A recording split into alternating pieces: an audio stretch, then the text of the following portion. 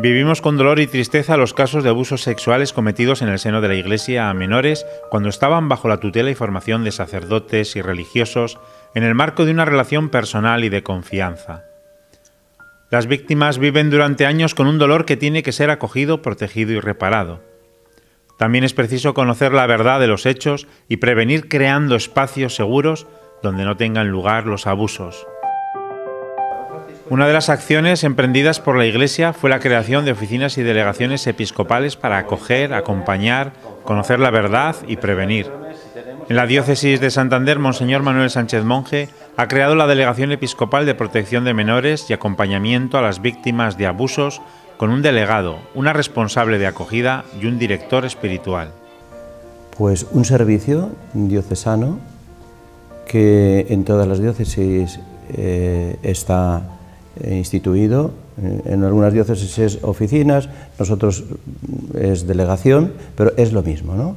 Entonces, es precisamente ese servicio a esas víctimas eh, que han tenido pues, la desgracia de ser abusadas dentro del seno de la Iglesia. Lo que no es es un mero trámite, no.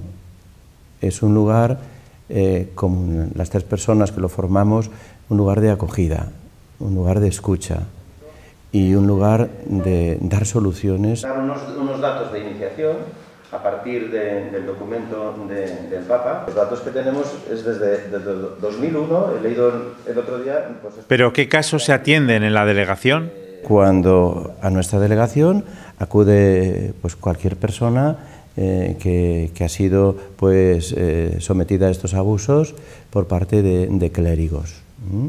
Es decir, eh, no, los religiosos y religiosas ya sabes que eso forma parte del sus superiores. Nosotros atendemos, atenderemos, a lo que es en el ámbito propiamente eclesial de sacerdotes.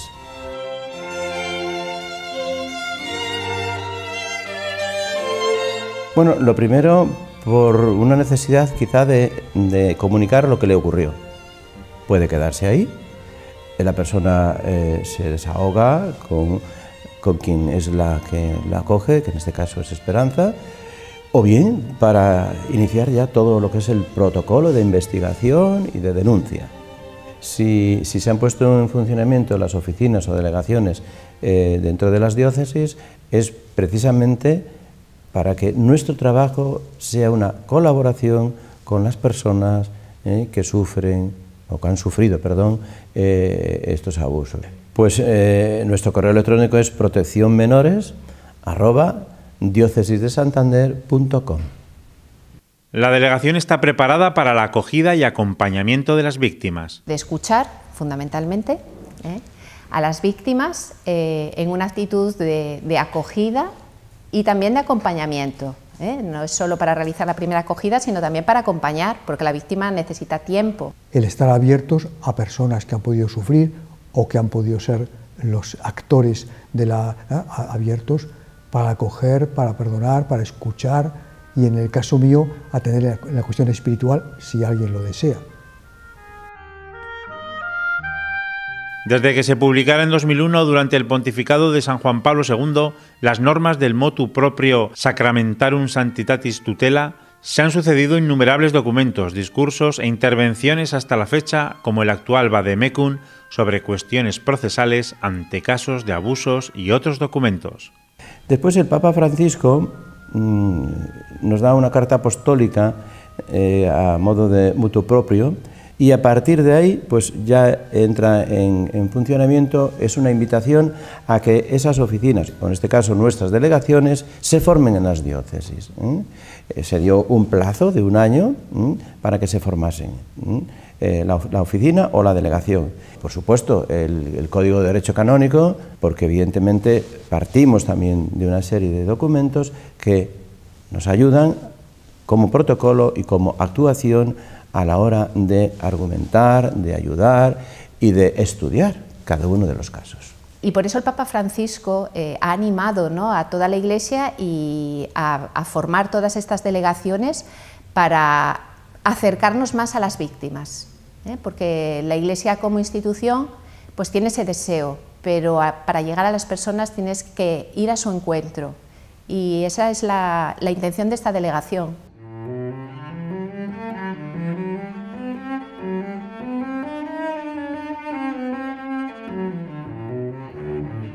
Formación y prevención son claves en la delegación desde que se creara. El año pasado, Jesús Rodríguez Torrente, juez auditor de la Rota, presentó el presbítero ante nuevos desafíos, adicciones, Internet, soledad y abusos. Y la psicóloga María José Díez Alonso, de la diócesis de Astorga, impartió la charla Los aspectos preventivos, atención a las víctimas, familias, victimarios y comunidades afectadas. Concretamente, la semana que viene eh, nos reuniremos pues, con los tres directores de nuestros centros diocesanos, con el delegado de catequesis y con la delegada de enseñanza. ¿eh? Pues para qué? Precisamente para tener un contacto de formación y ofrecer formación a profesores de religión en los colegios diocesanos, en todo lo que envuelve el tema de catequesis, campamentos. Y esto pues lo vamos a organizar en, nuestra diócesis, ¿no? Organizar para que... Porque el tema de la prevención es fundamental, ¿eh? es fundamental. ¿eh? Y el tema de la prevención es pues desde, desde los escolares hasta los jóvenes, hasta eh, los profesores de todos los centros nuestros y los profesores de religión que tenemos en las diferentes escuelas, colegios o institutos que son los profesores de la diócesis, porque creo que, es muy importante que sepamos qué tenemos que hacer, cómo tenemos que hacer y cómo tenemos que actuar en nuestra vida de relación con los niños y jóvenes.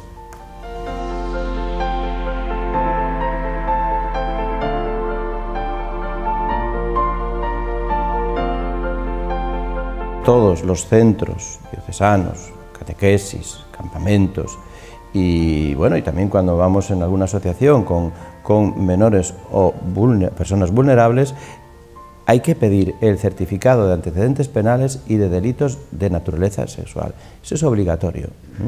La diócesis de Santander tiene un caso que ya se está investigando. La Conferencia Episcopal ha recibido, creo que fue en el, mes de diciembre más o menos, ha recibido una serie de casos de, de, esa, de esa, prensa eh, nacional eh, y entonces, ¿qué ha hecho la conferencia episcopal? Pues a las diócesis de las que él ha recibido algún caso concreto, pues lo ha enviado. Nosotros tenemos uno, que es un caso en el que evidentemente eh, se nos ha comunicado, pero no tenemos datos de, esa persona que, ha hecho una información a esa prensa nacional, pero no tenemos más.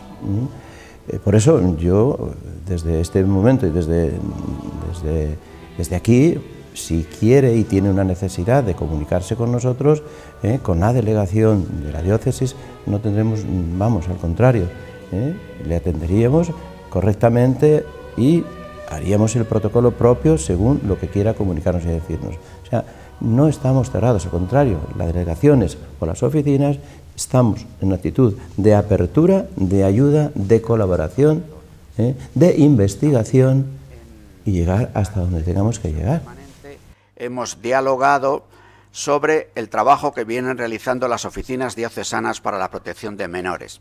Como saben ustedes, después de que el Papa Francisco estableció en su texto Vos Estis Luz Mundi la obligación de que se estableciesen estas oficinas y que en Todas las delegaciones y oficinas han tenido un encuentro en el mes de septiembre, un encuentro que pone de relieve el interés de la Iglesia por la protección de los menores y el acompañamiento a las víctimas de abusos pero la Iglesia no está pasiva, ni ha estado, sino la Iglesia está activa.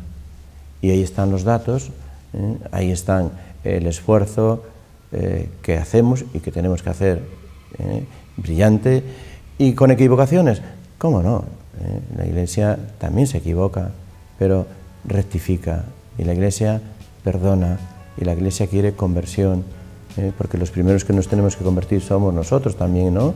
en este caso los que estamos pues, al frente también de estas oficinas o delegaciones. Pero la Iglesia es madre y como madre acoge y como no, ayuda a sus hijos. Hay que solicitar la ayuda, eh, que nadie tenga ningún inconveniente en pedir esta ayuda, que la va a tener de todas las diócesis, de todas las diócesis de España.